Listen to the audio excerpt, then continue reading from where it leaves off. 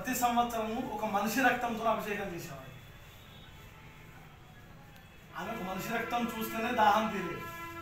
ఒక మనిషి రక్తంతో అభిషేకం చేయాలంటే స్వచ్ఛందంగా ఒక మనిషి రావాలి ధర్మం నాలుగు పాదాలను నడిచింది అదేవిధంగా వచ్చేవాళ్ళట. కానీ రాను రాను కలి పెరుగుతుంది. మరి ఏం చేయాలంటే ఆదిశంకరాచార్యులు అమ్మవారిని ప్రసన్నం చేయడానికి ఆమె ముందు ఎర్ర గుమ్మడికాయ అంటే ఒక మేక ఒక మనిషి రక్తంతో సమానం. అందుకే గుమ్మడికాయను బలి ఇచ్చి ఆమెకి ఏంది మాంసానికి బదులు ఏమి ఇష్టమయ్యా అంటే గుడాన్నం అంటే బెల్లపన్నం.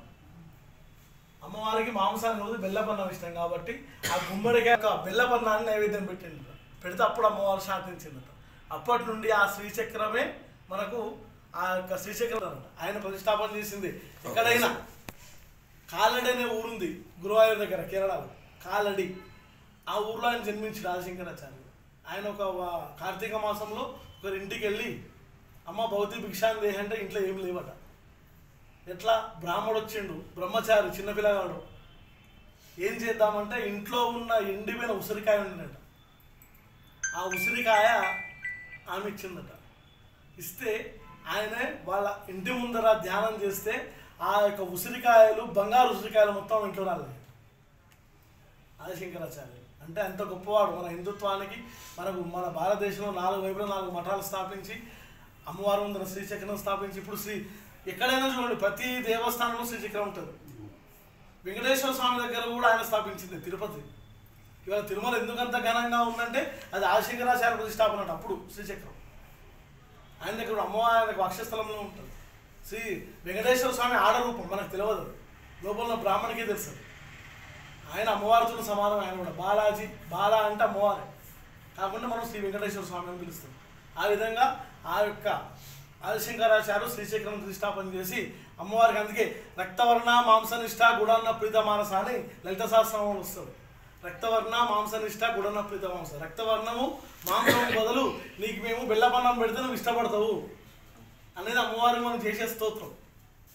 కాబట్టి ఈ అమ్మవారి అలంకారం బాగా త్రిపురసుందరి మొదటి రోజు. కాబట్టి అమ్మవారికి అభిషేకం అయిపోయింది. మీరు కుంకుమార్చన చేస్తా అంటే ముందర శ్రీ జంబి హనుమాన్ దేవస్థానము. ఈ యొక్క దేవస్థానము నిజామాబాద్ జిల్లాలోనే అత్యంత వైభవపేతంగా గల ప్రాచీనమైన దేవాలయము. ఈ దేవాలయంలో పర్వదినాలలో ముఖ్యంగా దసరా ఉత్సవములు రావణాసురుల సంహరణ మరియు ఈ ఈ తొమ్మిది రోజుల నవరాత్రి కార్యక్రమాలు దేవీ ప్రతిష్ట కార్యక్రమంతో కూడుకొని మహర్నవమి వరకు తొమ్మిది రోజుల కార్యక్రమాలు అత్యంత వైభవపేతంగా నిర్వహించుతున్నాము ఇట్టి కార్యక్రమాలకు భక్తుల సౌకర్యార్థము విద్యుత్ దీపాల అలంకరణ మరియు బార్గేట్లు మరియు పూల అలంకరణ రంగులు సున్నాలు ఏ భక్తులకు ఇబ్బంది కలగకుండా ఎలాంటి ఇబ్బంది లేకుండా వివిధ సౌకర్యాలతో ఏర్పాటు చేయుచున్నాము.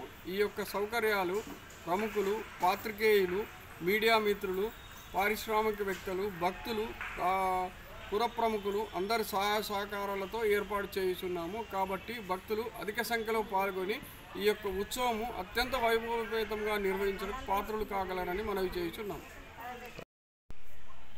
ఈరోజు నన్ను జంబి హనుమాన్ కమిటీ ఆలయ చైర్మన్గా నియమించినందుకు ఆసన్న గారి జీవన్ రెడ్డి మా ఎమ్మెల్యే గారికి ప్రత్యేక ధన్యవాదాలు తెలియజేస్తూ ఉన్నాను. ఆయనకు ఎల్లవేళలా కృతజ్ఞుడిగా ఉంటారని కూడా ఈ సందర్భంగా తెలియజేస్తూ ఉన్నాను.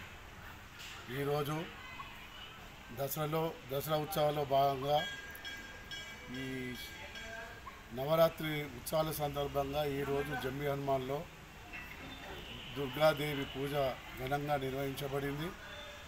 అట్లాగే రాబోయే దసరా ఐదు తారీఖు రోజు కూడా రావణ సంహారంతో గ్రాండ్గా మరియు ఎంతో గొప్పగా ఉత్సవాలు నిర్వహిస్తామని ఈ సందర్భంగా తెలియజేస్తూ ఉన్నాను. అట్లాగే ఆ రోజు ముఖ్య అతిథిగా మన ఆర్మూర్ ఎమ్మెల్యే జీవన్ రెడ్డి గారు కూడా వస్తున్నారు కాబట్టి అందరికీ ఆర్మూరు పట్టణ ప్రజలకు పుర ప్రముఖులకు అందరికీ స్వాగతం సుస్వాగతం.